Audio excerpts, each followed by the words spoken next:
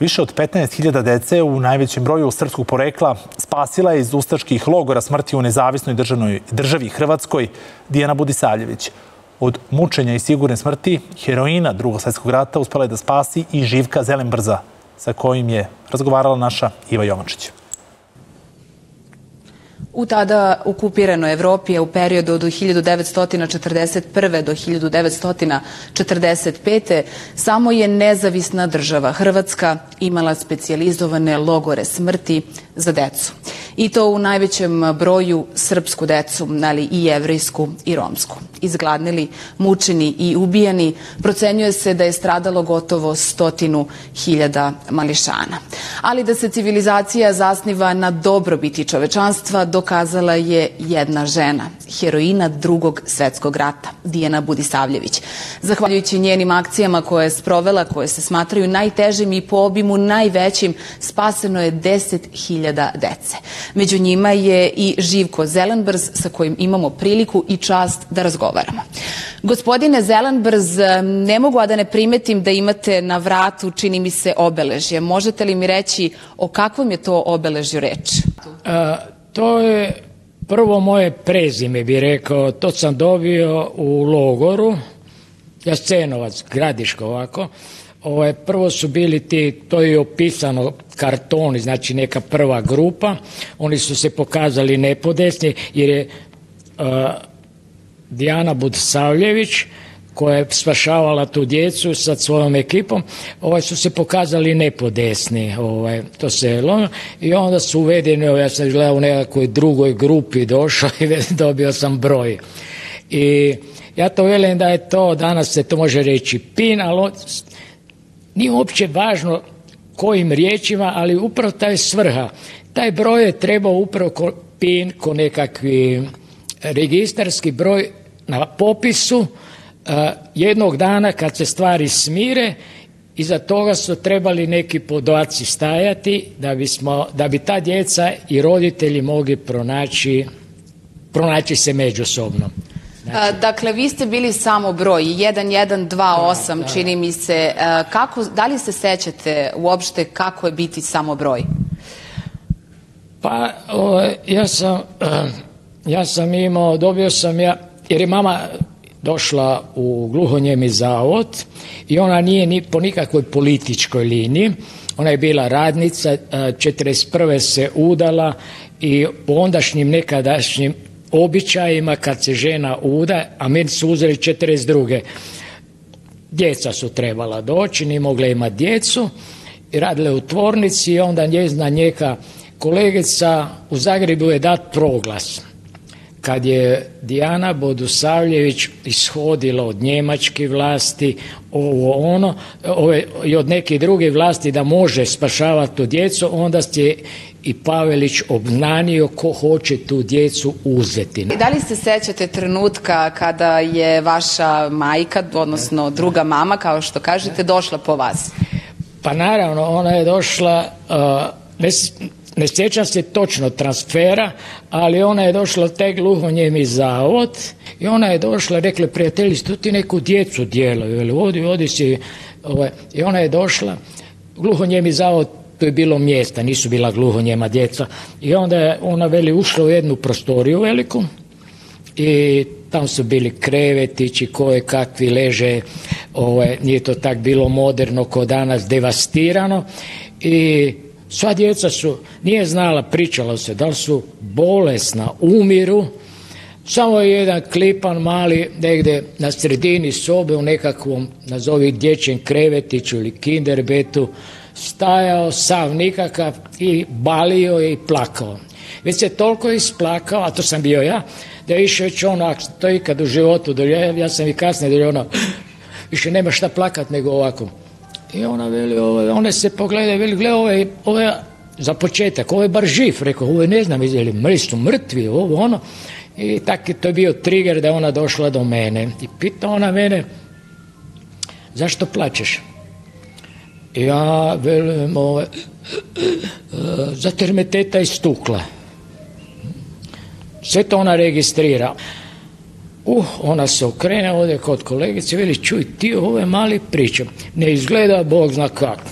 velika glava, tijelo, krastav, izmučen, ali gledaj, veli, on ti priča. Ide ona po mene, veli to se bo valjda promijenilo. I dođe on opet do mene i pita ona mene, je li bi ti išao sa mnom? A ja kažem, išao bi ako imaš u kući mesa. Uh, to onda bi ono gotovo. I tako ona onda mene uzela, se jako brzo vezao uz ovu mamu. Meni je bila mama potrebna. Ovaj, I nikad nisam ništa pričao i dokaz da sam se jako vezao između ostaloga je bilo u tome što se ja recimo po opisu, ja ne mogu baš sve točno sve veli, nikad ja nisam plakao za svoju mamu. Ja sam svoju mamu zaboravio. Kada ste saznali da ste zapravo poreklom Srbin i koliko je to uticalo na vaš dalje život? Pa gledajte, to, je, to se odmah doznali, jako klinac to nisam osjećao. Ja sam živio u podneblju, ja sam dobio vrlo brzo od Pavelića, Pavelić, njegove administracije, to je vidjelo iz, iz ovog prvog dokumenta, e, da sam rođen i navodi se e, selo od kud je Mato Zelenbrs, odredila mi se katolička vjera, bez onih crkveni sakramenat, nego država rimokatolička vjera, odredile su mi se godine i to sam bil ja. Ovaj, I tu sam ja naveden kao Hrvat, ali inače je u nekim drugim dokumentima koji su tražili, uglavnom su Srpkinje tražili i vodilo se pod tim da sam ja srpske. Ali ja to to, to dijete ne osjeća. A kako se danas osjećate? Da li ste vi Srbin ili Hrvat? Ja sam, ovaj, e, kako bi rekao, ja sam, jer sam preozbiljan da bi mogao to reći, predugo sam uživio u Hrvatskoj, sva politička pitanja u Hrvatskoj me ne interesiraju, nego ljudi, s njima sam nekima, pola Hrvata imao zvijezdane trenutke, svi mi prihvaćali su nas, a ovaj drugi ne. Ali ako se povede pitanje, onda će odgovor biti ja sam po življenju Hrvat i rođen sam u Hrvatskoj, ali po porijeklu sam Srbin. A recite mi, s obzirom na to da ste rekli da vas je možda od sigurne smrti spasilo zapravo plać, jer vas je tako druga majka odabrala, Da, da, da. koliko puta ste možda plakali kada se setite svega i da li ste e, se prisećali nekih traumatičnih situacija vas ili vaših možda prijatelja ili rođaka? A, pa gledajte, to, ja to sad ne mogu reći, ja sam se osjećao, ali sam se ponašao kao da sam doma. I sad dolazi karta i mama čita kartu, ona je 42, ona, je 20, ona ima 20 godine, sad ima što ona je relativno mlada, ne, Ovo, mlada je, ne, neiskusna, nije obrazovana, ne znam, pa bi nešto vodila. I ona ovak čita i na jedan put, ja onak cirkuliram nekakve sitnice, šta si mogu ima, nikakve sofisticirane igračke. I pita, veli ona meni, tu ti mama piše. I ja još malo sam se začudio, ona klinac, hodal sam, ali naj, a, najgore je bilo kad je rekla, e, tu ti mama piše i doći će po tebe. Ja sam se njoj zgrabio za skute i počeo plakati. To govori sljedeće da ja zapravo sam mamu zaboravio, ali to je tako komplicirano. Pa koliko je to žena dolazilo po, misleći da su upravo one vaše mame? Pa to je bilo brdo žena, da se ovak izrazim, recimo, već kad sam imao 15 godina, ja sam to jako neugodno doživljavao. Ja nisam u tom momentu osjetio, na primjer, onaj nekakvi osjećaj, kak znaju pričati. Ja sam osjećao neku vibraciju u zraku, ne. Ali morao sam biti poslušan i sad je on, mama je otvorila širom ruke, u želji da pomogne. On je pričao svoju priču, on je kao mene prepoznao, i siromak, radnik, ne znam, iz Bosne.